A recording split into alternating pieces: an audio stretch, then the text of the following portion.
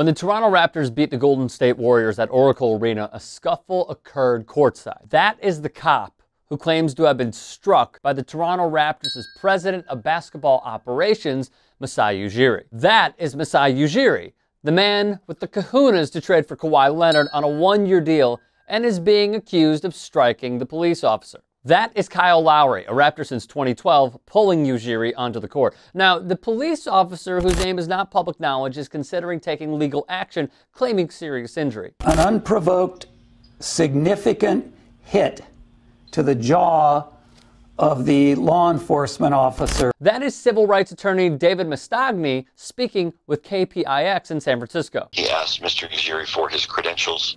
Uh, Mr. Ujiri refused to produce the credential uh, and shoved our deputy out of the way. And that is Sergeant Ray Kelly of the Alameda County Sheriff's Office. Now, here's the problem. Warrior season ticket holder Greg Wiener was standing next to the officer and told the AP the cops are lying and covering up what the officer did, saying Ujiri never struck the cop in the face or asked for a credential. Wiener said the encounter began when the deputy put his hand on Ujiri's chest and pushed him. Ujiri shoved him back before bystanders intervened. The thing about the cop saying the policeman asked for his credentials, that didn't happen. There was no conversation at all, Wiener said. This part about striking him in the face, yeah, that didn't happen. He has a serious concussion a templar mandibular joint injury, which is a serious jaw injury, said Mastagni. This looks like somebody trying to embellish what happened to protect what they did what the policeman did, Wiener said. It seems over the top. I still stand by the fact from what I saw, Masai two-handed shoved him into the chest. Now,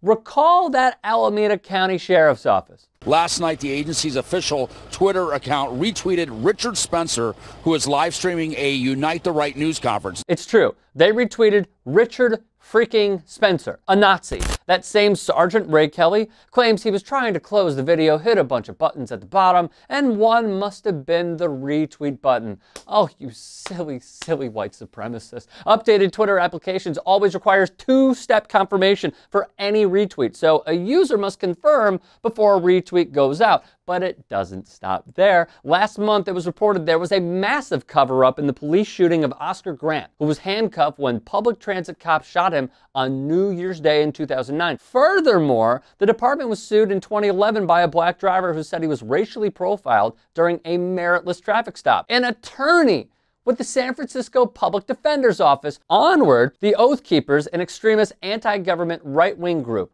held a booth at the Alameda County Sheriff's Office training program to explain who they are. The Oath Keepers, who went to Ferguson to protect white businesses against black protesters, revolve around a set of baseless conspiracy theories about the federal government working to destroy the liberties of Americans. The Oath Keepers tried to protest outside Maxine Waters' office, but were shut down. In 2016, Alameda County Sheriff Gregory Ahern co-signed a letter sent to Senator Jeff Sessions supporting his nomination to lead the U.S. Department of Justice. And in 2018, the Alameda County Sheriff's Office was accused of using an anti terrorism grant from the Trump administration to focus on black Muslim inmates returning to society. The words Muslim and violent appeared 31 times each in the sheriff's proposal, extremism appeared 26 times, and radicalization 12 times. White supremacists, by contrast, is mentioned only once. My opinion?